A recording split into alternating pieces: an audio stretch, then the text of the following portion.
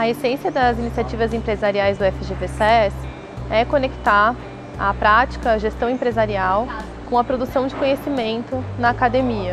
Conectar essas duas pontas e fazer disso pesquisa aplicada.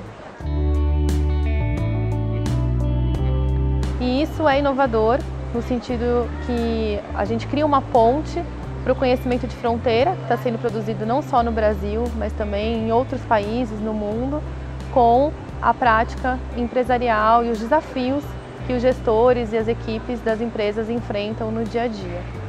E assim, a gente busca transformar os desafios da sustentabilidade em oportunidades de criação de valor é, para esses negócios e para os atores com os quais esses negócios se relacionam. Isso é importante porque os temas que a gente vem trabalhando nas iniciativas empresariais, eles são temas que já estão se tornando cada vez mais materiais para diferentes setores e também já são temas que estão nas agendas de atores importantes que se tornam indutores dessas agendas, né, que empurram essas agendas para frente. A gente trabalha então cinco temas nas iniciativas empresariais. Mudanças climáticas, e aí envolvendo mitigação e adaptação à mudança do clima, ciclo de vida de produtos, desenvolvimento local, serviços ecossistêmicos e inovação e sustentabilidade na cadeia de valor. As atividades das iniciativas empresariais, elas são organizadas basicamente em torno da troca de experiências entre essas empresas, que se dá a partir de um conteúdo compartilhado pela equipe de pesquisadores é, do FGV-SES.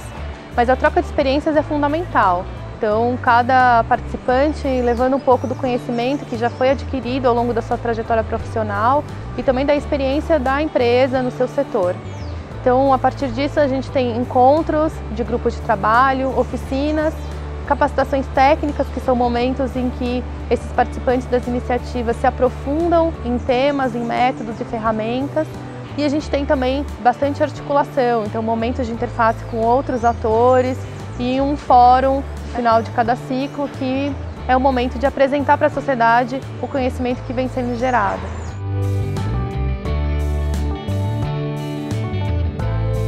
Além disso, também faz parte das iniciativas uma imersão em campo, que é fundamental para que esses participantes, para que essas equipes consigam ver em campo, no território, como é que os desafios da sustentabilidade e as soluções estão sendo construídas de forma integrada, né, de forma ali imbricada entre si, os desafios dos diferentes temas.